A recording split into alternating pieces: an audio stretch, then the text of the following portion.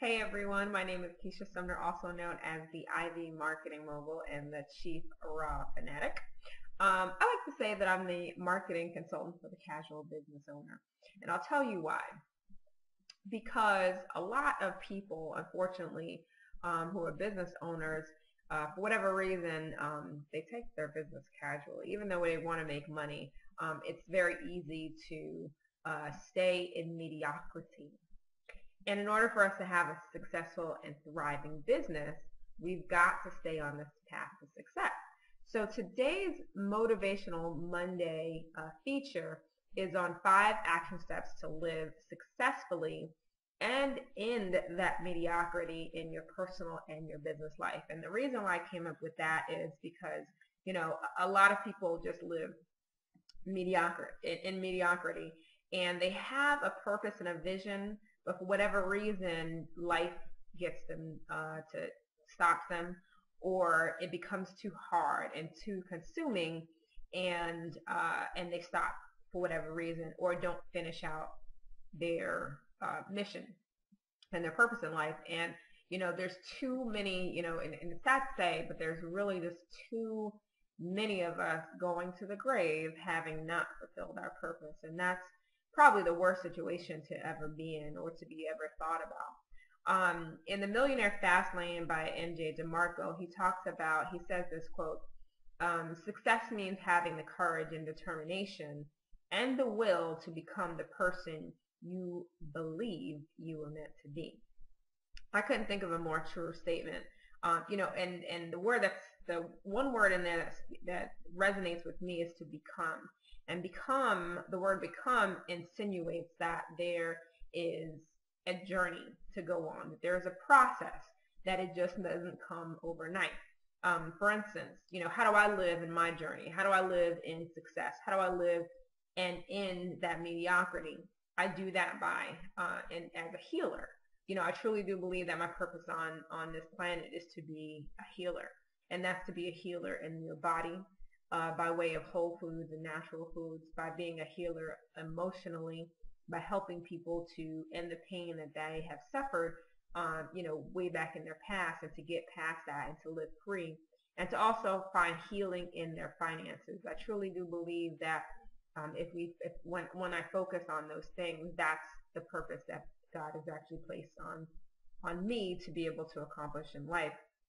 So, you know, how do you end that mediocrity? How do you go about on your journey? Especially if you're a business owner, you know, how do you get out of being the casual, the business owner? You know, how do you find that success?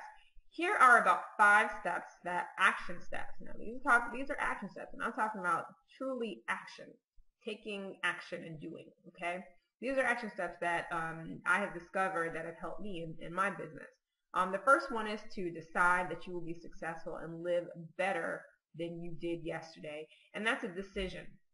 Simply put, just a decision. And the decision is to live uh, better than you did today. Um, how do we go about doing that? We write it on paper and we look at it every day. So I have a little bit more information about that um, in my blog post that you can see below.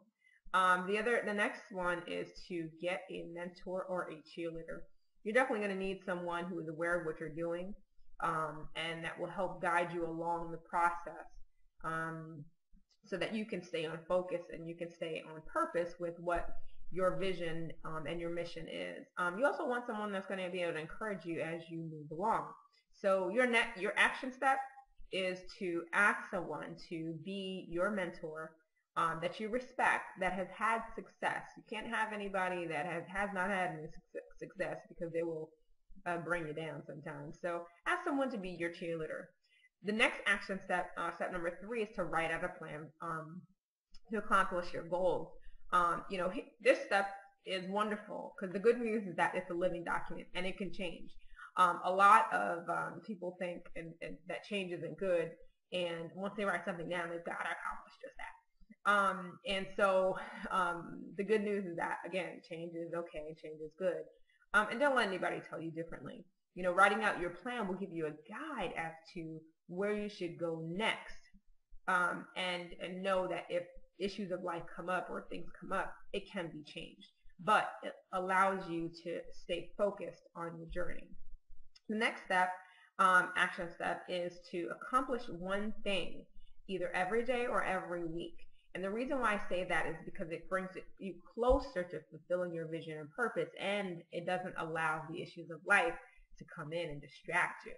Um, this is where the rubber meets the road and it's the difference between people going to the grave not having fulfilled their purpose or you actually fulfilling that purpose. Um, your success is taken and happens one step at a time. Um, those steps build upon each other and before you know it you can actually look back and actually see uh, the progress that you've made. So the action step to take is to identify and complete at least one task. Um, identify that. Write it down to actually bring you closer to fulfilling your purpose. The last action step is to decide that you will never ever give up on whatever it is that you need to accomplish. A lot of people, again, let stuff, um, you know, cloud their judgment or where they get shiny ball syndrome. And you know all about shiny ball syndrome. Shiny ball syndrome is something that you think that it can improve what you're doing, but it's really um, a disguise to actually um, bring you away from what your your calling is. So um, you know, make up your mind to actually um, to stay on focus and stay on target with your purpose. And your mentor will help you do that, and so will your cheerleader. Um, and then from there, um, you can actually complete your goal and complete your purpose. And look at it three to five times a day. I always write everything that I want to accomplish down. And I, it's on my wall. I see it three more than five times a day. Uh, but I see it. I see it when I wake up. I see it when I go to the bathroom. I see it when I'm walking out of my uh, room. And I see it when I'm coming right back into my room. So I look up at it every day. Those are my five action steps. Um, you can see a little bit more about it um, and get more of an explanation um, from it um, at the link below. You'll see a link there and to my blog post. And I hope you enjoy it. I hope you share it. I Hope you like it. If you do like it, tell a friend. Um, also connect with me on Facebook. Would love to mastermind and talk to business owners and see how I can help you uh, accomplish your goals in your business. Until next time, I will see you later. The Ivy Marketing Mogul signing out.